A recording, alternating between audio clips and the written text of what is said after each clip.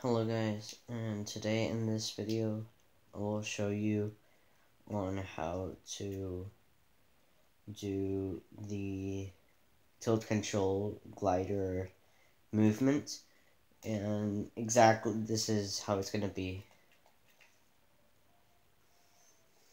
Just going to give you the intro part right here.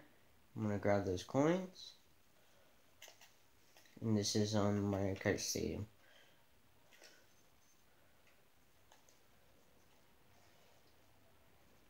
And here we go.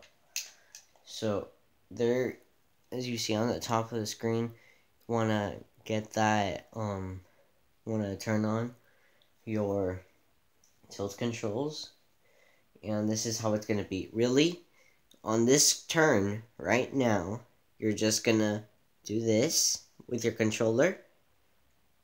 And you want to do it at an exact point, an exact point, as you'll see right now.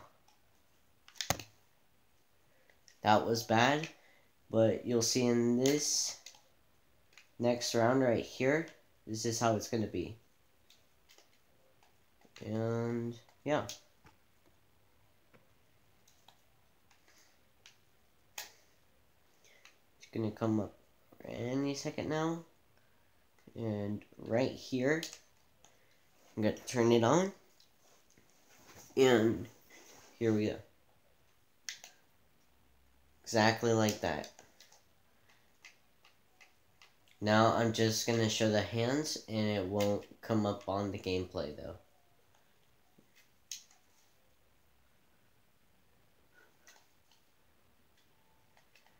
So really, as I told you since before, what you really want to do is just have your your controller very tightly and then all right let me just say this so really what you want to do have your two hands on it turn on your your tilt control then start doing it, as you'll see right here. You're just to tilt, turn that on. Then right now, I'm going to use my boost. And if you want to gain height, want to have your stick down to show that you're going to get some altitude, and also turn. So if in this case you want to go to the left, you're going to go down. So really, take it as a compass rose. You're going to go southwest. Alright? Okay. And you'll see here. And that was good, and I'm going to show another example.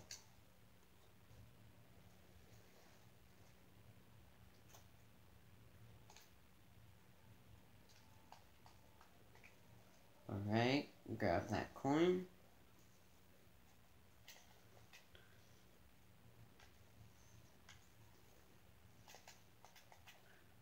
Alright, that wasn't that good.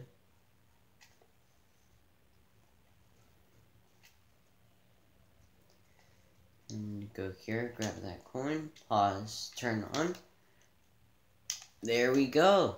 And then turn it back off.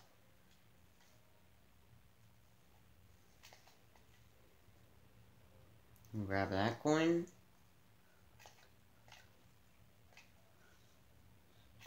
Jump there. Put on the brake a bit. Go right here.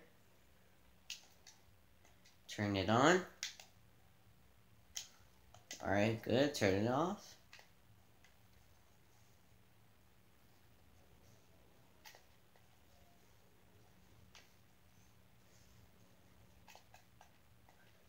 wasn't that good. No matter. Just do it for the video. And there we go at the last second. Turn it up. And do that. And there. We did it. Because that wasn't a new record.